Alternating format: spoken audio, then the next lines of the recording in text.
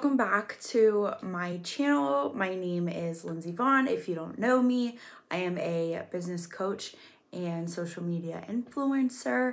Today we're going to be talking about brands and how to build your brand.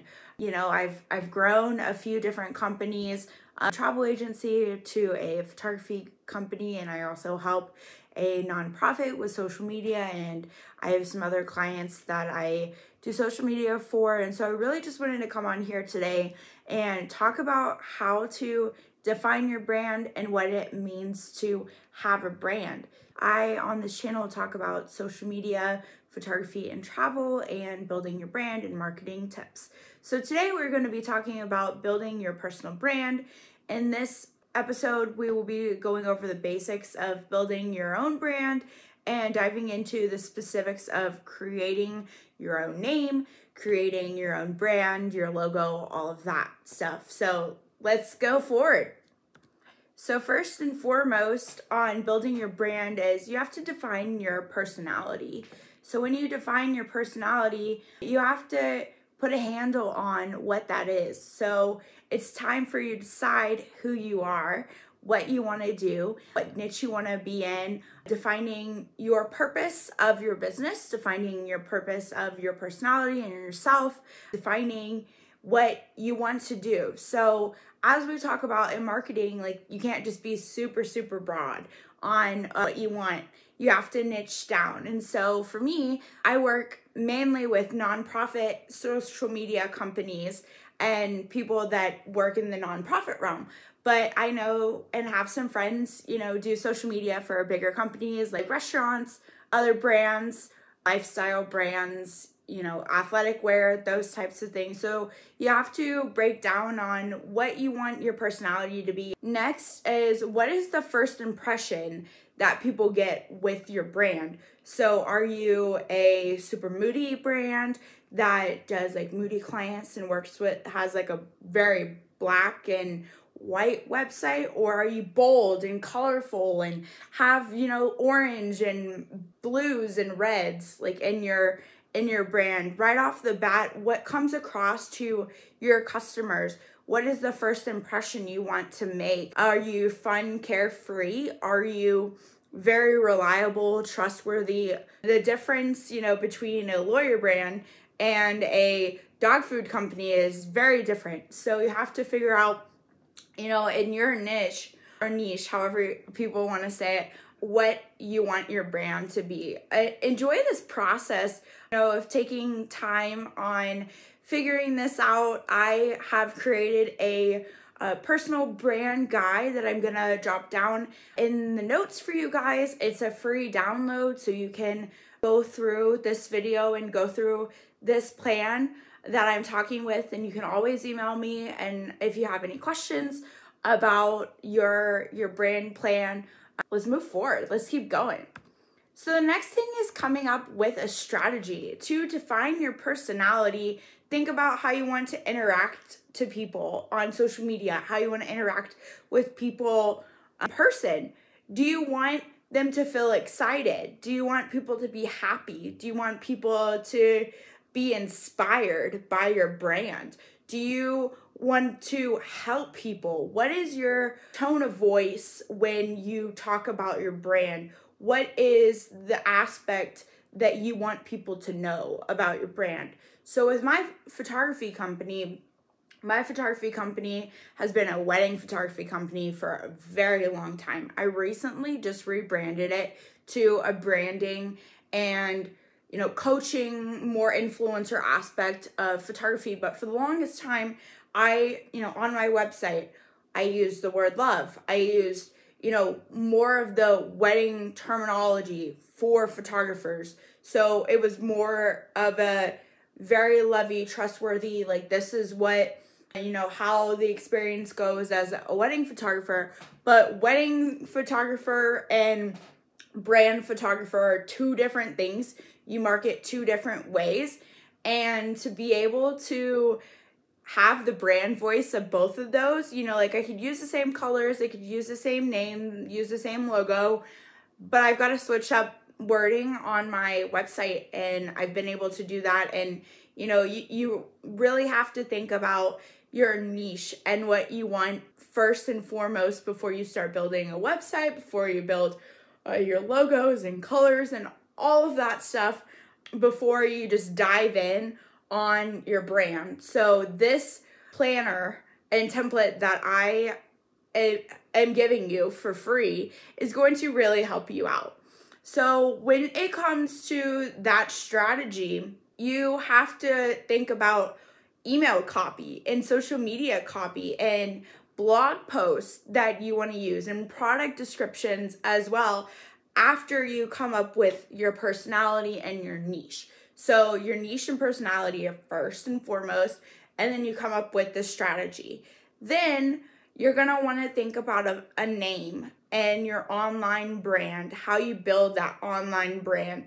The first thing you need to do is when you come up with this name is check to make sure you can get a website. You know, like some sometimes the name's already been used. So check that. You also want to make sure it's not hard to pronounce or spell because if it's hard to pronounce or spell, people are going to spell it wrong all the time and that's going to hurt you in marketing. Um, your marketing traffic is going to a different website that is not the same. So make sure it's easy to say, make sure it's easy to pronounce and spell, and make sure that it's also like creative enough that you stand out. Like you don't want just something that is boring. Who wants boring names? No one in these days day and age. So make sure that it stands out in the crowd, stands out for you know people like I said my my photography business is called Wild Onyx Photography. That's very random, but it's very easy, you know, to spell. It's very easy to say when I started my photography business, no one else had a wild onyx photography business. It was easy to get a, you know, social media accounts and and a website. So, you know, be creative, go outside of the box. You know, some people like to use their name for photography businesses, which is totally fine. That's that's totally fine. But if your name is like Ashley Smith, there are a lot of Ashley Smiths so, you know, it'd be a little hard to differentiate between who is which. So, think about that. Think about your name. Next is developing a strategy. With your brand identity, you have to have your voice in place and start building your strategy. So, the first step is to define who you want to reach and who you want to talk to and how you'll do it. Like I said, with this planner that I that I have and that is in the notes below for you guys. Uh, it's just a good workbook for you to go through and I talk about these things and there are notes section where you can write down things and then I am also going to be coming out later this week with my business resource template shop. So you can find that at www.lindsayvaughn.net and that's going to be a whole shop for business owners like you. There's going to be wedding photography pricing guides, there's going to be regular photography pricing guides. There are going to be brand workbooks. This brand workbook that I'm talking about now is going to be on there. I'm going to have marketing plans, business plans for you guys that you can buy and download and use them. And then later on, other episodes of my channel, I'll be discussing those specific things and we'll work through them together. So this whole channel is going to be working through what I am creating for you guys. So having the templates and then they're also going to be free templates. Uh, please sign up for the newsletter. That way you guys can get some of the freebies that I'll be sending out every Friday to everybody. But just a little plug on the shop. But let's get back to talking about developing a strategy. So when you develop your strategy for your brand, you have to create goals for yourself. And these goals have to be essential, but they also have to be SMART goals. So I don't know if you guys know what that is, but they have to be achievable. You cannot say, oh, in my first year, I want to make, you know, X amount of money, but you haven't made anything. Like that, that doesn't work. Like you have to make sure they're achievable for you and they're not just outlandish. So I can't just say like, oh, I'm starting a travel agency uh, or a photography company and I will make X and not have a plan, not have a strategy, and think that I'm gonna make that money. That just doesn't work. I hate to burst your bubble, but just doesn't work. So you only can make money if you have a strategy. So we have to create this strategy. I do offer social media coaching where you guys can get a one-on-one coaching session with me and we can go over your branding and your social media accounts and kind of have an audit where it is done for you and we can work on what you need for your business. That you can send me an email for and I'll put the email in the notes so where you guys can send an email if you want to do an online coaching session. Would love to talk to you and help you guys out. That's why I'm here. That's why I do this YouTube channel. I have had so many people ask me just to do this YouTube channel because I have so much knowledge of all these different businesses that I've started. So use me, you know, get the help that you can. Back to developing strategies. So your business may be, you know, in the one one goal. You know, we need a few goals. We don't need just one. We need like two or three, but we don't need 10. So, you know, like we have to make sure they're achievable and that you you can obtain them. Starting out in my year of business, I start out with 3 month goals, 6 month goals, 9 month goals, and the year goals. So I have done that for my goals, but I also write like week goals. Like I have a notebook and a journal that I'm like, okay, this week I want to get this, this, and this done. So start small and then work big. That way, don't work big and then start small. You get stuck that way because you can't achieve things. So working small to big is the best. Uh, there is a checklist that is on the planner that talks about the months and then weeks on what you want. So it's very good for your goals and you can write it down there. The next thing about defining your personal brand is choosing a platform.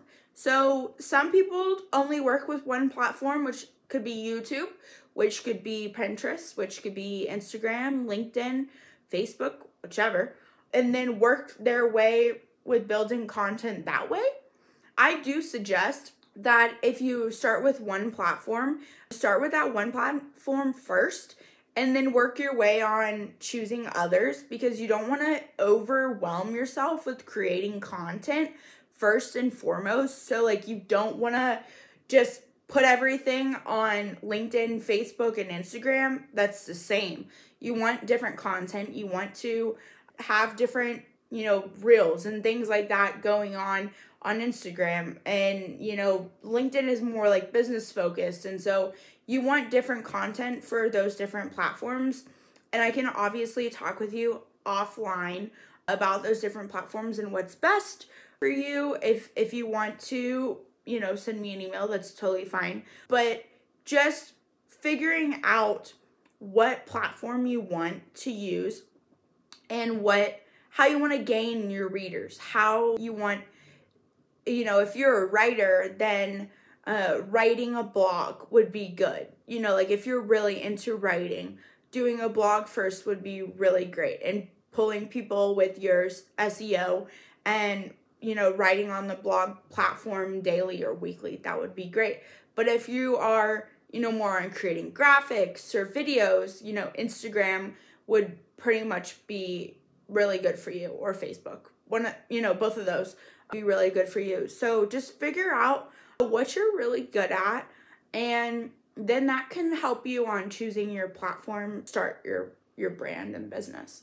When you go back to talking about the right name for your brand is you need to think about first impressions, the right name for your brand and like I said if people can spell it or pronounce it, how to show and tell it.